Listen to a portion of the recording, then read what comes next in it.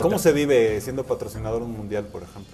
Bueno, obviamente se vive con mucha intensidad porque uno no puede dejar de lado eh, como mexicano el ser aficionado y estar en Pero el no estadio. estás como un simple espectador con una serie de boletos, ¿no? Sino estás un poco dentro de, de los vestidores, de la cancha, viendo cómo es, qué, qué Sí, bueno, te acuerdas. se- es una experiencia muy completa porque además uno hace promociones para llevar consumidor o aficionados a, a los estadios y asegurarse que la gente esté bien atendida, que esté cerca de la marca, cuidar que en los espacios de entrenamiento y en las ruedas de prensa de la selección la marca, reforzar la presencia de la marca para maximizar la inversión de un patrocinio, como lo es, pues es una inversión importante para ser patrocinador de la selección mexicana de fútbol.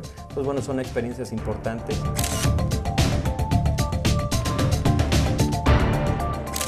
y, me tocó también negociar con algunos grupos musicales, ¿Ah, sí? los Tigres del Norte, la Banda El Recodo, y ver bueno, cómo, cómo esos grupos musicales eh, se convierten en, en- en representantes o embajadores de una marca eh, cervecera y nos ayudan a, vi- a vincularnos con el público. Ahora, habiendo sido un ejecutivo de, empresa, de varias empresas a lo largo de tu vida, ¿cómo es que decides dar el, el- el paso a ser independiente, a poner tu propio negocio, a, a separarte cierta edad de, toda esa comunidad ¿no? que significa estar en una gran empresa? Bueno, yo, yo, siento que, en mi carrera profesional sí he, tenido mucha suerte de, de tener eh, gente cerca de mí, jefes eh, que me, me enseñaron mucho, que me marcaron en mi carrera.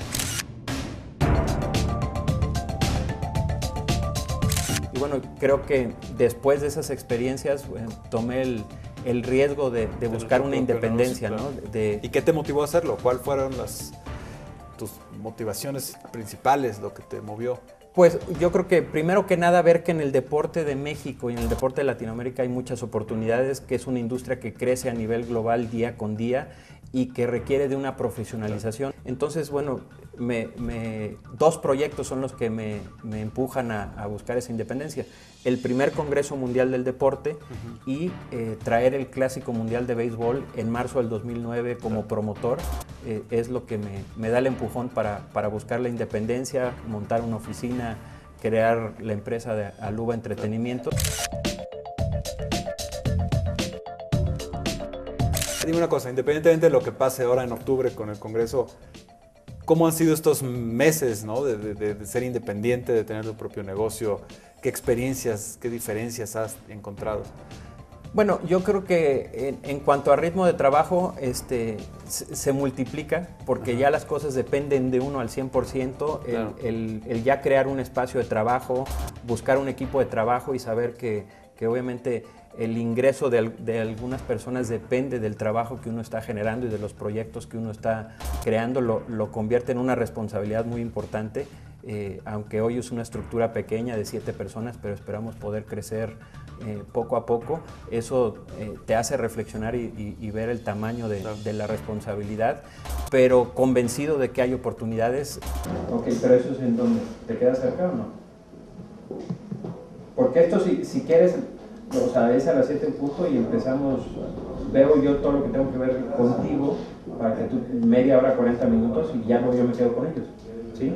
He tenido la suerte de encontrar socios estratégicos, como te decía, como Arturo Elías Ayub del Instituto Telmex del Deporte, como el propio Carlos Hermosillo de CONADE, que está buscando hacer cambios importantes en la estructura del deporte y en la profesionalización Y después del me deporte. imagino que, como platicábamos hace rato, después de este Congreso, también parte de la idea es que mucha gente, muchos chavos se den cuenta de que no solo pueden dedicarse como, como negocio a ser deportistas sin, para vivir, sino también al negocio del, del, del deporte, ¿no? Sí, yo, yo creo que el, el deporte obviamente es, es una industria que tiene un, un glamour, ¿no? Por todos los reflectores que tienen los medios de comunicación.